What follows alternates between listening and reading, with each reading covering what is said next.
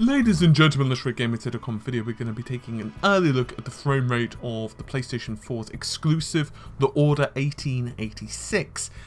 So, the good news is, at least from my early testing, and bear in mind that I've only gotten a couple of hours in, so obviously the more strenuous sections of the game are possibly yet to come, but the good news is that the frame rate is a pretty much a solid 30 FPS throughout.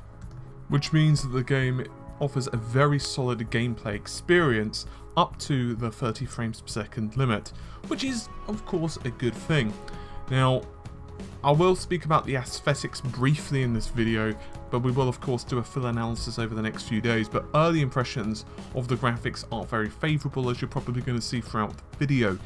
Um, there are a couple of small glitches here and there, a couple of low resolution textures. I have noticed the camera very rarely, just for a second, zooming into a model. In other words, you go inside of a model, but it's very rare and it's only happened to me once or twice. The controls are pretty responsive, although I have noticed occasionally there is a slight delay in um, responsiveness, particularly with the camera, but it's by no means a particularly mean problem at all. It's not uh, too hostile, and to be totally honest, it feels rather nice, particularly in combat situations. Uh, combat feels rather smooth and responsive, at least as responsive as it can do at the 30 frames per second mark. Shadows, details, lighting, all of it looks pretty damn astounding and special mention has to be made regarding the character models. They look very impressive indeed. And you'll notice various details, for example, uh, when you're walking under a gangway that has say, a light source above it, you'll notice that that light source will then filter through to the character and you'll see spotted light patterns on their jackets. Or if you're walking through say a rainy corridor that's got lighting above it once again you'll spot the lighting fairly accurately, not 100% of course, but fairly accurately represented in the game world, and that's that's pretty nice. Uh, Anti-aliasing, as far as I'm aware, I haven't super researched into this yet, but it would appear to be a form of TXAA, so occasionally you do see just the hint of uh, smearing in terms of aliasing, but the jaggies are pretty much nice. There's no super sharp edges or anything like that, so your eyes aren't being gouged out, which is always a pleasant experience.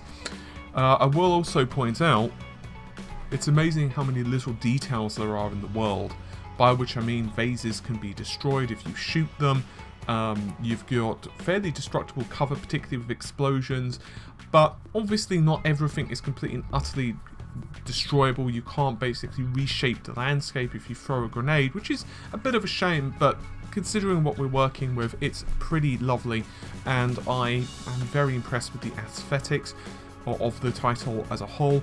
Um, there's no real major issues that I've come across so far. There's no major glaring textures or uh, major um, um, hit detection problems or frame rate drops, at least in the first couple of hours. Once again, this is still early, but I want to put this up here just to reassure people that if you are thinking of buying the game and you're wondering, does it really perform as well as what Ready at Dawn uh, had stated, does it really live up to the at least the performance and graphical hype?